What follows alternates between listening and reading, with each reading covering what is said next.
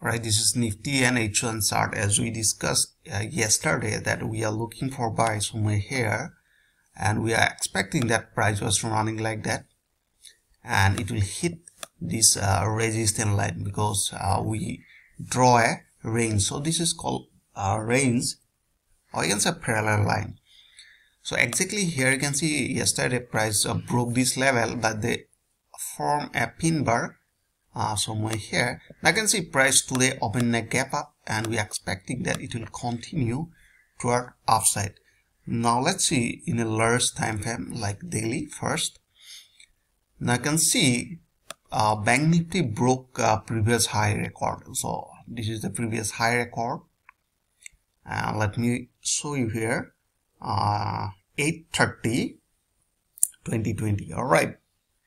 Uh, that was a higher point around almost 25,000 something. So today you can see price broke this level and we are expecting that it will continue from this area. And let me show you next resistance. So here you can see this is the weekly chart and let me remove this one. And let me draw a horizontal line by connecting these uh, moving averages. Now you can see weekly next resistance will be around 26,800 so we are expecting uh, recently it will hit this level of 26,800 why is it important? Because we have seen multiple rejection in this area. We have seen multiple rejection weekly in this area. And here you can see this is the rejection and act as a support. So that is where we are expecting that it will hit uh, this level. All right. And now let's jump to in a small time frame to find out some uh, entry point. Now I can see in this area we're going to apply breakout trading strategy. So I think everybody know breakout trading strategy. All right.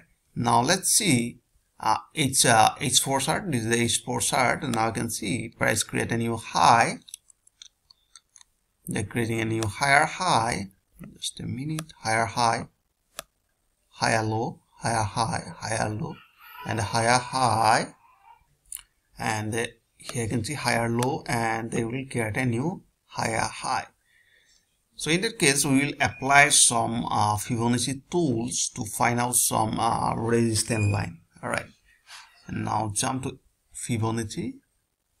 So let me show you uh, suppose this is a A point and this is a B point and this is the C point and we need a D. We need D point. Where is the D point? So in that case uh, I'll apply Fibonacci. So like that like that and the next are we gonna apply Fibonacci. So I'm applying Fibonacci extension. And right now here you can see first level we have seen. Uh, this is called 123 this one 123 extension. I want to draw a horizontal line by connecting this line. Uh, this is the resistance line. So remember this is the first resistance. And almost there is second resistance. Let me remove this Fibonacci now now see, this is the resistance line. So we are expecting that price will hit this level. Okay. Now you can see here.